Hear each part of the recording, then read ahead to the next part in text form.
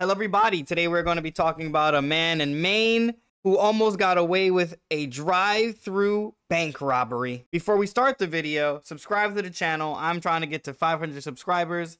Thank you. Jason Arsenault, 41 of Westbrook, is being accused of robbing a bank through the teller drive-through by using the pneumatic tube. You know that tube that you see in the drive-through bank with the that you put like your bills and stuff through or your deposit checks through that then comes back to you in another tube. That's how he tried to rob the bank. Authorities said that on January 26th, Arsenault pulled up to the drive-through of the Key Bank at 445 Gorham Road. He had been driving a black Chevy Suburban and was wearing a black hat, sunglasses, and a face mask, the South Portland Police Department said. The vehicle was believed to be stolen. Arsenault in the drive-through passed a note through the teller through the tube reading car bomb, no cops, no alarms, or we all die. $50,000 in 20s. Can you imagine what's going through the bank teller's head at that moment? She's in a real life bank heist, something that you rarely see nowadays. Bank robbery is almost up there with bootlegging liquor, how old it is. When's the last time you heard of an actual successful bank robbery? Peter, why'd you want me to get us into this prison? Because, Joe, everyone knows that all prisoners make bootleg wine in their toilet. We are gonna get so wasted. Oh, look, right here. This one's full of Chardonnay. The U.S. Attorney's Office said the bank teller placed some money in the pneumatic tube and Arsenault took the money before driving away. Federal prosecutors also said that through multiple surveillance cameras, investigators were able to trace the vehicle's movements and captured an image of Arsenault's face, leading to him being identified as a suspect. Why even take your mask off? So many criminals do not get caught nowadays by just wearing a face mask or wearing one of those shisty masks, as they call them, those ski masks. All he had to do was keep his identity as concealed as possible and stay away from city streets with cameras. He would have been so fine, so good. On a side note, you ever seen those people outside in ski masks? Like a full on ski mask and it's like 90 degrees to 100 degrees outside? I think those people have legit mental issues. There's no way you're not sweating and you're not hot under there. Like you're you're crazy. Arsenault's vehicle was located in a short time later in a parking lot at 75 John Roberts Road, which is about one mile away from the bank, and several professional offices at that address were evacuated for a time until the vehicle was deemed safe. Why only drive one mile away? He should have had something like an extra getaway vehicle or even a bicycle to get on so he could get away. I don't think he has seen enough bank robbing movies or really thought this idea through. I think the moment he got the money from the tube, he was like, oh my God, this actually worked. And like his brain was just on fire from adrenaline. He's like, fuck, I gotta get out of here.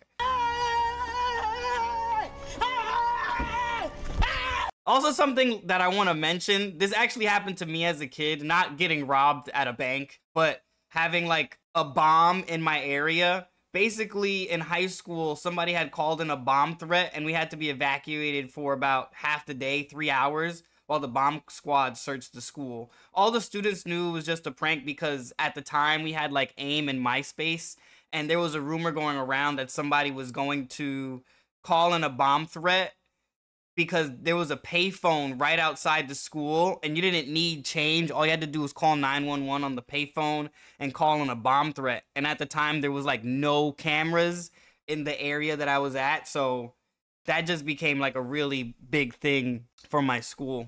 Let's get back to the story. What I want to mention right now is how he got caught. He got caught in the most idiotic way. So, six days after the robbery at about 10 p.m. on February 1st, Arsenault was arrested in Portland, Oregon after he was found inside a parked vehicle on Maple Street. He was found inside of a parked vehicle after robbing a bank and having money. What is going through this man's mind? The U.S. Attorney's Office said Arsenault confessed to the robbery following his arrest and directed investigators to the stolen money which was hidden in a backpack in Baxter Woods in Portland. Police said they found nearly all of the $30,000 that was stolen during the bank robbery. So he went out of his way, risked time in prison, actually had the money in his possession and didn't even spend it. And when he got caught, he just directed them straight to the money. He could have gotten a hotel or gone somewhere way out of state or maybe even tried to leave the country. Why just sleep in a car? At least sleep in the trunk or buy some camping gear and go camping in the woods with all the money that he had. He had so many options and he chose the most idiotic one sleeping in a car, which most likely he didn't own because it seems like he already has a history of robbing vehicles. In addition to the maximum 20 year prison sentence, federal prosecutor said Arsenault faces a maximum fine of $250,000 and up to three years of supervised release. Oh my God. Bro, you almost got away with a drive through bank robbery, and the only way you got caught is number one, you drove only a mile away. Number two, you decided to take off your disguise, knowing that there's cameras everywhere nowadays. And number three, you decided to sleep in a car that was most likely stolen, even though that's not saying it here. I'm just gonna guess it's most likely stolen or broken into. He got away with bank robbery, but couldn't get away with the whole goddamn thing. He got away with the bank robbery initially, but didn't know how to put the pieces together to actually get away with it, which I find ridiculous. Like, Come on, bro. Anyways, so what are your thoughts on this drive-through bank robbery criminal? Do you think this was the step towards the perfect crime or he would have gotten caught eventually? As always, like the video, subscribe to the channel, have a great day, see you later, peace.